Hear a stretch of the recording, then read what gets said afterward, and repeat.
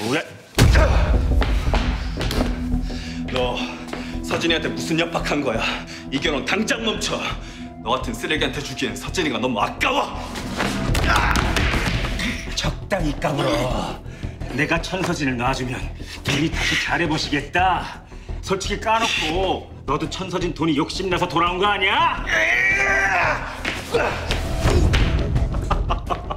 이제 그 손은 이렇게밖에 못 쓰는 건가? 그때 아주 그냥 확실하게 아작을 내줬어야 했는데 내가 마음이 너무 약했어.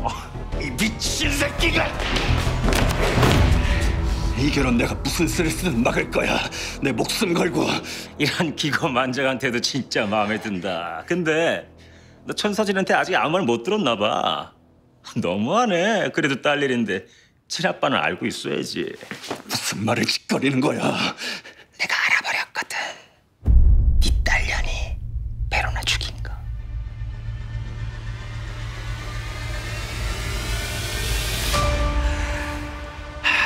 어쩌겠어. 자식의 과오는 부모가 덮어줘야지. 서진이가 다 안고 가기로 했어. 지 딸년 사랑 끔찍하잖아 우리 천서진이가. 아. 이거 혼자 보기 너무 아까운 얼굴인데? 자, 쳐봐. 내 입 감당할 자신 있으면 쳐보라고. 쳐보라니까.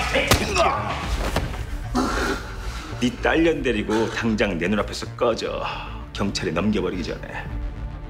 내가 너 죽일 거야. 죽여버릴 거야, 주단들! 파이팅!